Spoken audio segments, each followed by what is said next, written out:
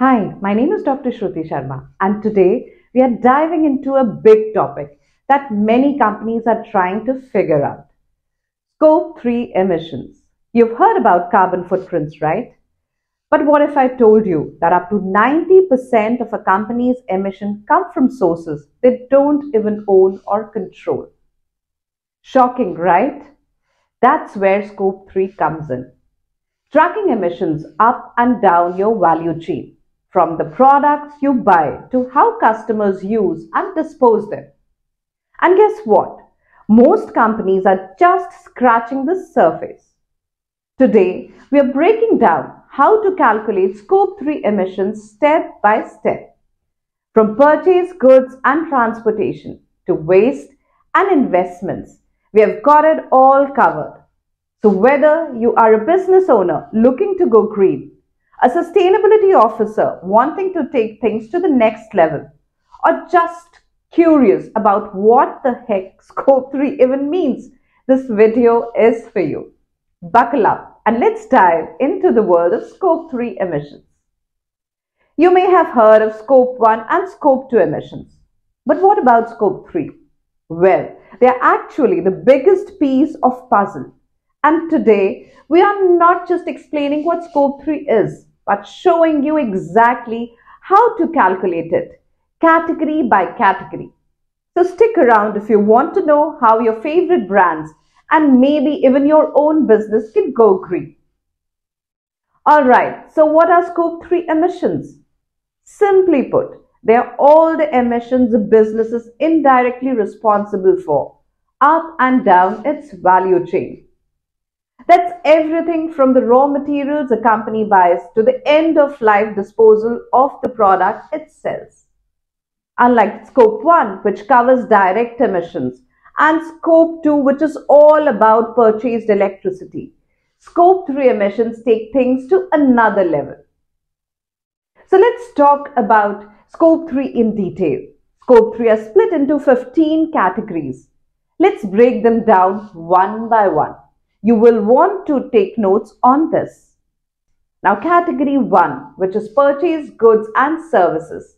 Category 1 is all about what your company buys to make its products. Think raw materials, office supplies, even cleaning services.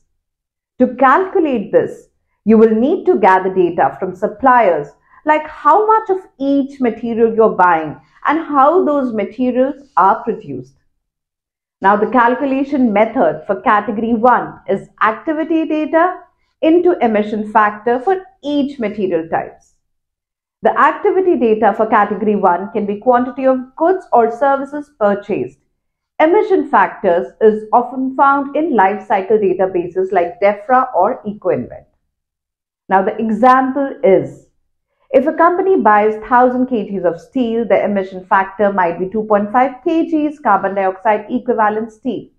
So the answer is 2500 kilograms of carbon dioxide equivalent is the outcome in category 1. Now category 2 is about capital goods.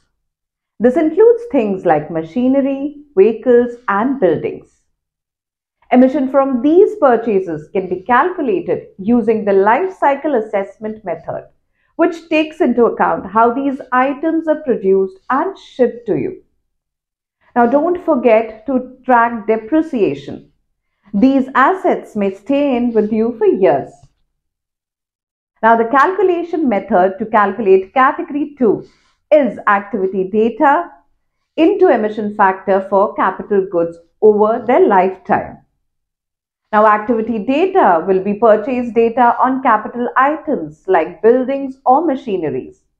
The emission factors usually includes the life cycle emissions for the production of capital goods. Now here's an example. For a new building, estimate the total emissions from its materials and construction process. Now category 3 is fuel and energy related activities which are not included in scope 1 or scope 2. Category 3 is a bit tricky. It covers the extraction, production and transportation of fuels and electricity you use, but only the emission not already counted in scope 1 and scope 2.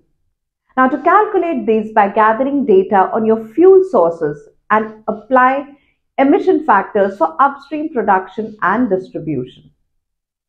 The calculation method to calculate this category is activity data into emission factor for each fuel or energy type. The activity data can be amount of fuel or electricity consumed. The emission factors includes emissions from the extraction, production and distribution stages. Let's go through an example. For electricity, consider emissions from upstream processes like coal mining or natural gas extraction. Now let's look at category 4. Upstream transportation and distribution is category 4. Now it looks at how your products are shipped to you. If you buy materials from suppliers who ship by truck, rail or even plane, you need to track those emissions. Ask your suppliers about the transport modes they use and calculate the emission based on the distance and weight shipped. Now the calculation method for this category is activity data and emission factor based on transport mode and distance. Now the activity data can be weight of goods transported, transport distance and transportation mode. For emission factors can be mode specific example, trucking, rail, etc. Now let's look at the examples. Emission for 100 tons of transported 500 km of truck can be measured using truck emission factor. Category 5 is waste generated in operations. So category 5 we can say is all about waste. This includes everything from the manufacturing scraps to the office trash. Calculate this by estimating the waste types and amounts. Then applying emission factors based on disposal methods like landfill, recycling or incineration. The calculation method to calculate this category is waste volume into emission factor for each waste type and disposal method. Now the activity data is the volume of weight of waste generated. Your emission factors varies for landfills, recycling and incineration. Now here's an example.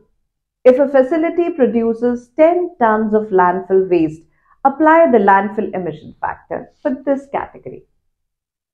Now there's category 6 of business travel. This one is easy to understand. Category 6 covers business flights, train rides and even car rentals. To calculate this, track your employees' travel activities and use specific emission factors for each travel type. Now the calculation method is simple. It's distance traveled into emission factor based on mode of travel. The activity data here can be distance and mode of travel, which is air, car, and train. Emission factors can be based on the type of travel, which is short haul flights, cars, etc.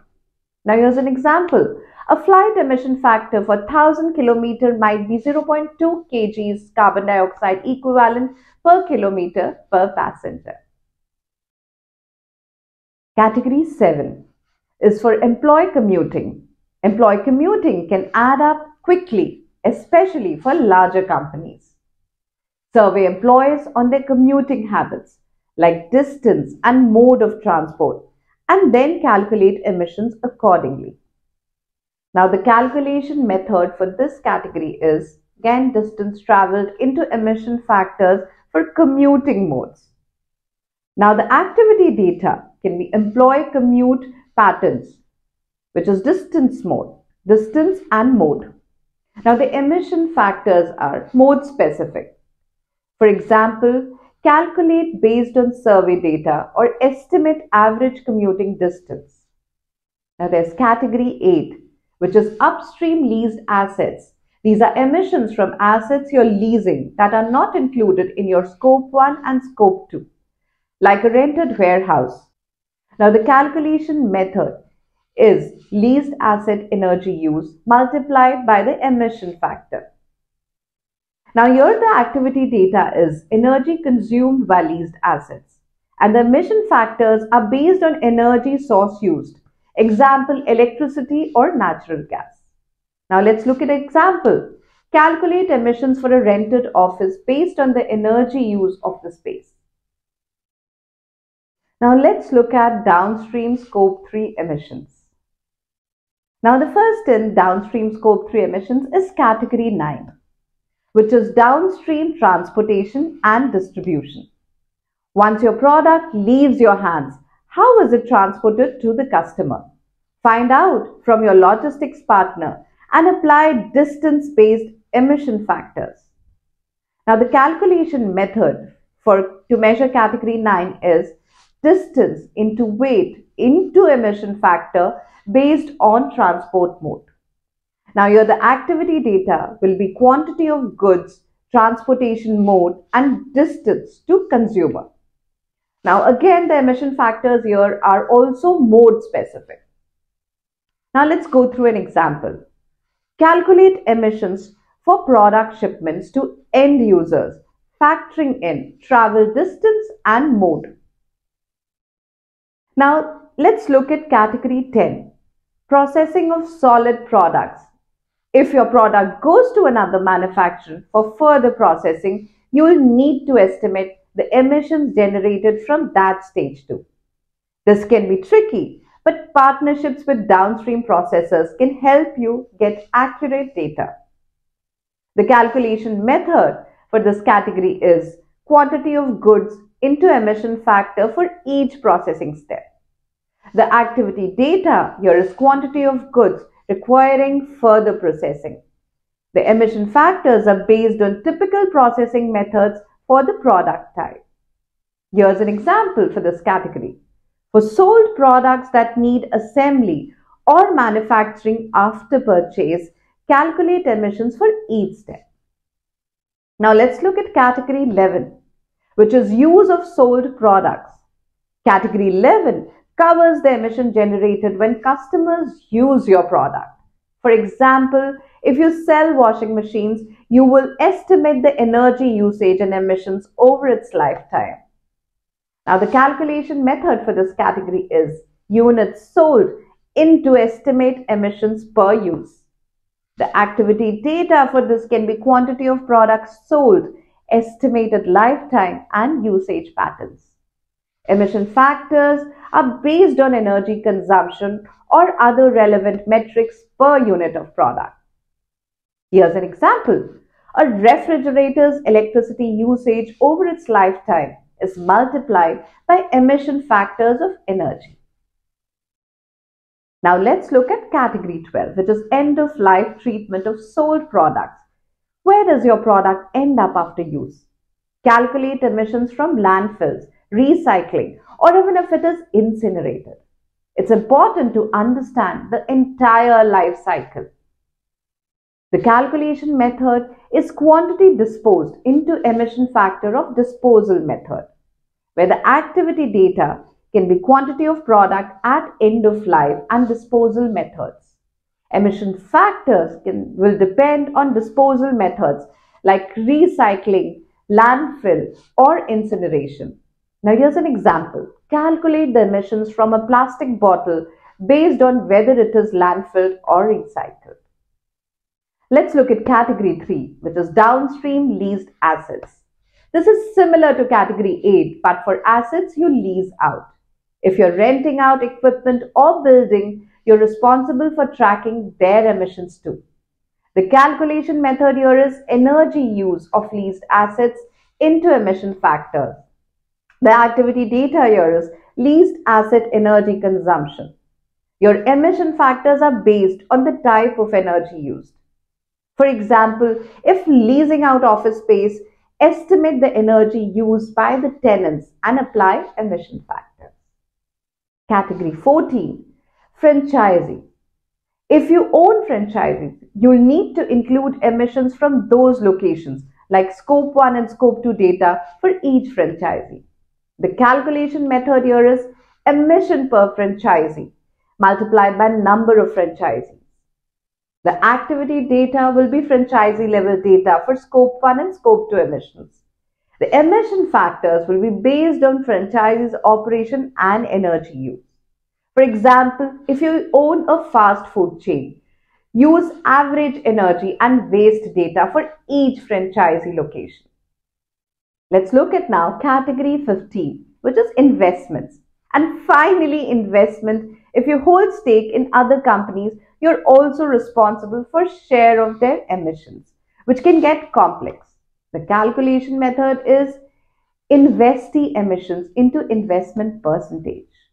The activity data here is emission data from investments, usually a share of the investee's total emissions. The emission factors can be based on the sector or activities in which the investee is engaged. For example, if investing in a steel company, apply emission factors relative to your shareholding in that company. These calculation metrics require accurate data collection and understanding of each category's relevant factor. Most companies use third-party tools and databases like CDP, EcoInvent or Gabi to help gather information on emission factors and refine their calculations.